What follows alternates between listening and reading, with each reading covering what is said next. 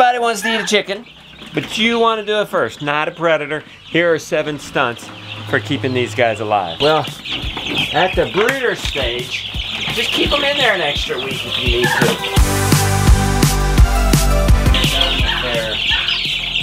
I think they're old enough for that.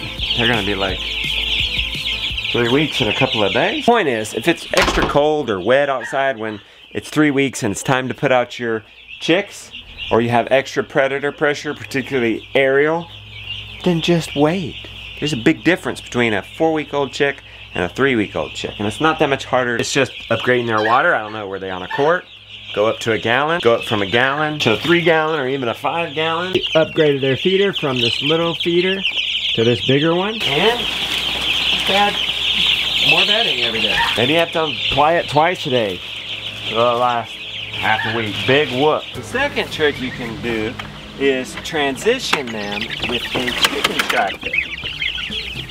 These guys are ready to graduate the brooder. But since they're especially little as they're layer chicks, they're especially vulnerable to crows. We've actually had a few get out. We've lost one or two. What you gotta do, look, Lily's done it today. If there's a divot because the grass is uneven, you put a shim in and they can't get out. She's done it, bless her heart. They're not gonna get out of that. It has to be pretty big. That's probably big enough, see that? And they're getting bigger, so they're not as likely to do it, but they could crawl out something like that. This just gets moved every day to new ground. They're happy, they're on grass. Uh-oh, uh-oh, they getting real spry. This is just one of many purposes for this chicken tractor. And it's gonna be available directly after our Kickstarter. Our Kickstarter starts June 1st to backers. The chicken tractor serves as a good transition. You're outside, but you're still fully protected. And yeah, there's 29, 39 of them, something crazy. You can handle it in such a small place because they're still so small. The third trick, but to get you some of this Premier One shock or not, shock or not, like still works even if you don't use, oh, it's not gonna get the reward for some of the easiest to use, but it is gonna get the reward for keeping chicks in. I am seeing a problem here. It doesn't sit well because we've got grass clumps right here and a bare spot right there. Those chicks are totally gonna get out. See the slow, if, even when we turn it on, it's not gonna shock. It's the second one up that shocks. A rather quick fix. You could get some tent stake. We have some garden stakes. They can be metal because, the like I said, the bottom isn't electrified. What about when you move it? Well, it's pretty easy. Watch this. Pick it up. Don't leave them there for your mower or children's barefoot. Mr. Brown, should we let these chicks out? Sure. Get over this net, push it down, step over, you're good. Don't go at the corner one. Too, too much pressure on the corner. You could do a partial situation where you don't let them out all day. Come home from work, then let them out. They'll go back in at night by themselves. This is cool because they can choose to stay in there, protected from aerial predators. Now they're protected from land predators with the shocker knot fence. The fourth trick, let's go get the fourth trick while we're waiting for them to come out. You want to? What's the fourth trick? The fourth trick is the guard goose. It's constantly looking around. Roman tufted. I like the Roman tufted. You could get the Chinese goose. The Roman tufted is smaller. It's white. I think it's beautiful. Look, it's got that tuft on its head. A male or female guard goose. I like to get males. The drawback for males is they get ornery within four or five years as they get older. They get to think, well, they get to set in that they're a chicken and they try to breed some and they can kill these chickens just because they're just too big and rough. Here's the problem with the female, which that is, she in the spring, when she might be done, pulls the hay out of the nest box and it falls in the bottom of this chickshaw and it can't fall through. The beautiful thing about the chickshaw, which is, this is the chickshaw mini-me, is the one inch wire mesh It falls through. I don't like to clean it out, so I think we're gonna go with male geese from now on. Although the female, you get a you get an egg, so there's your pros and cons, and they never become ornery and and try to mate your chickens and kill them. I believe this is Rosie. If you want to catch a goose, we're gonna get it her in the corner and grab her by the neck. Do it with confidence, or they'll they'll they can bite. No, this fence is not on, so don't be alarmed if she runs into it.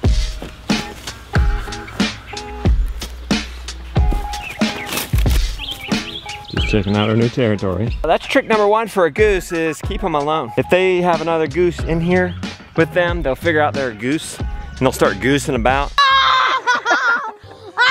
and they won't be paying attention and protecting the chickens. Well, come on, flap the wings. That's what they do. What do Grandma gave you four onions. But they were tiny. What are you making? They not come out yet? No. Here's the other trick. See that little goose, Gosling? Can you get that, Gosling? This is the other trick to raising a goose. Look at this little goose. Oh, there he is. Three weeks old. Look at that guy. Isn't he cute? Oh, Trick is, you gotta buy two geese. Nobody's gonna ship you just one goose unless you got buy it local from a breeder. You can raise them together with your chicks and then separate them. dog. You only have one flock? We have several flocks. You could give it away or sell it. We raised that guy with chicks and they thinks he's a chicken. And look at him been trolling around. If you were a crow, would you dare to come down in here? I don't think I would want to. She's, he's, he's peering around. He's flapped his wings. He'll squawk. Too much drama for predators. Land predators too. Sure, a coyote could take them down, but it's just too much drama. They like it more quiet. This is like a floodlight at night for robbers, you know? Look, they just came out. And they just went back in. That's fine. That's normal. Fifth trick lies in the coop.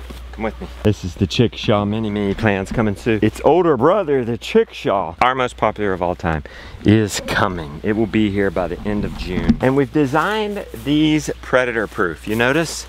Look, remember? Remember how I showed you one inch mesh so poop can fall through? Well, it's no bigger than one inch because you need to have no bigger than one inch openings in your coop for predator protection. Half inch wire mesh on the side is what we used. I mean, you could use one inch, I reckon. Bigger than an inch up here in their nest box. I mean, maybe right there. I found that the predators don't climb up this if they were to get in here. So we can go around this whole thing, bottom, sides, top, no more than one inch opening. I don't know what kind of coop you have or what kind of system you're using, but for the most part, if you shut your door, your coop door at night, and they're in there, and you have no more than one inch opening in your coop, you've solved, and, and that's just the nighttime, which is most of your predators, you've solved 99% of your predator problems. My coops are already pre-designed for predator control. I like to brag about them a little bit. We got the 20, 26 inch flat free tire and it's a 26 inch so that it's high enough up so that birds can get under the coop. Actually that is a predator point. I mean it's for shade and comfort and get out of rain but they can also run and get away from a passing hawk and they can get under there and it's big enough. A, a lot of people try to go cheap and get the smaller tires. I don't blame you. These are like $200 nowadays for both and the smaller ones are cheaper but the chickens can't get under that and you want these you want your coops to be multi-purpose as much as possible. Why, why am I not afraid of for them without the goose in here? Well, they have this net and once they've are adult chickens, we don't have a problem with aerial predators. Our, ours is a hawk. We do have a problem with aerial predators, but not when they're that age. If we had eagles, maybe we would be still keeping the the goose in here. But the hawks don't get them when they're that fat, fat hands. They don't, they can't handle fat hands. The sixth thing is movement. I like to move it, move it. I've had snakes get chicks, I've had snakes get eggs. Trick the predators. Don't keep the predators in one spot. See me moving it to spread the manure love. They pooped all night right there. Just move it. Not only did you spread the holy chicken squat love to different places, we're throwing off the snakes and other things like that. I don't think when I'm moving coops regularly, I've ever had a snake problem.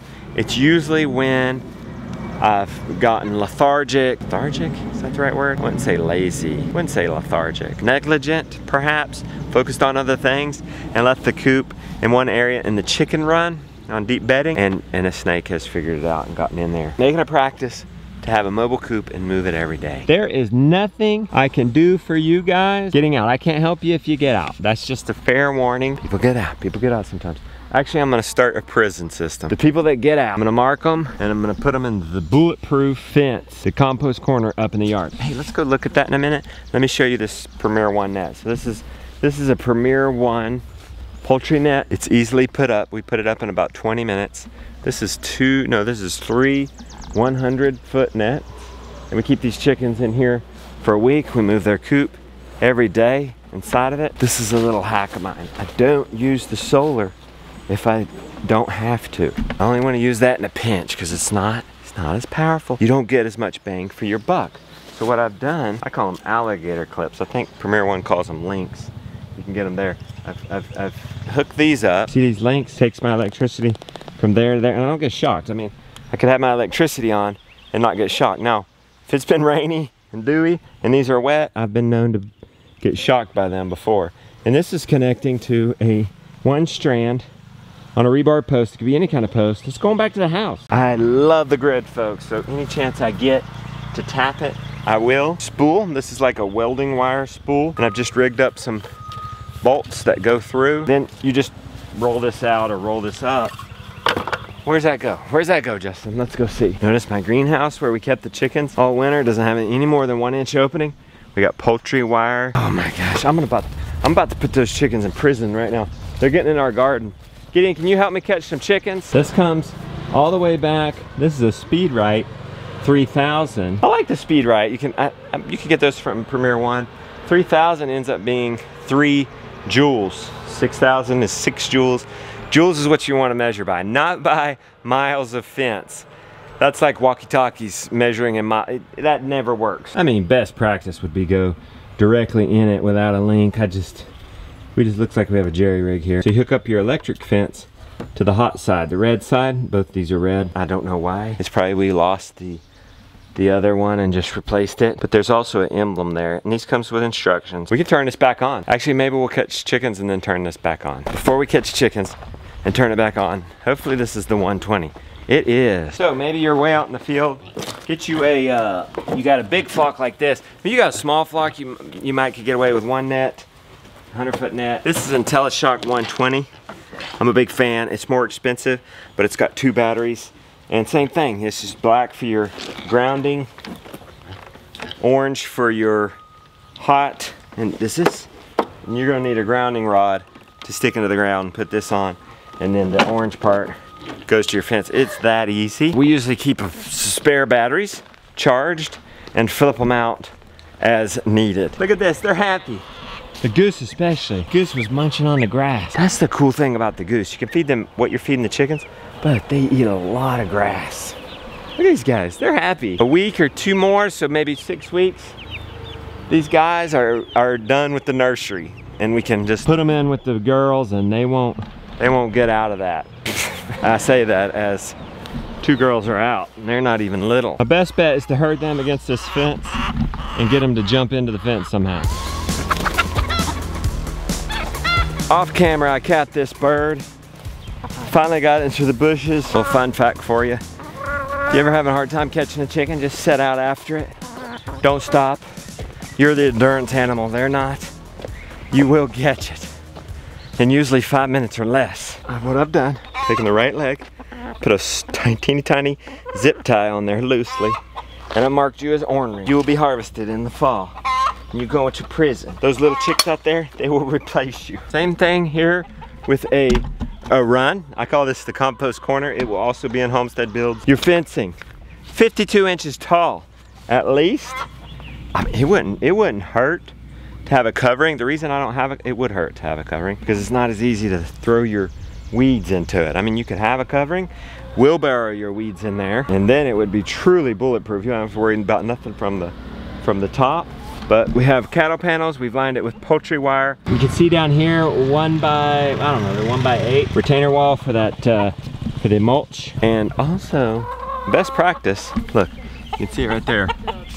Bury, I don't know, eight, 12 inches of poultry wire or half inch wire mesh so nothing can dig under and get in here to them. Heads up, the compost corner, the chickshaw, the chicken tractor, and other builds are coming Homestead Builds, we're kickstarting that June 1st.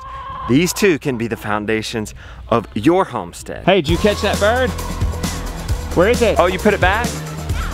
I was gonna put it in prison. Uh, the front yard. Catch another one, put it in the compost corner.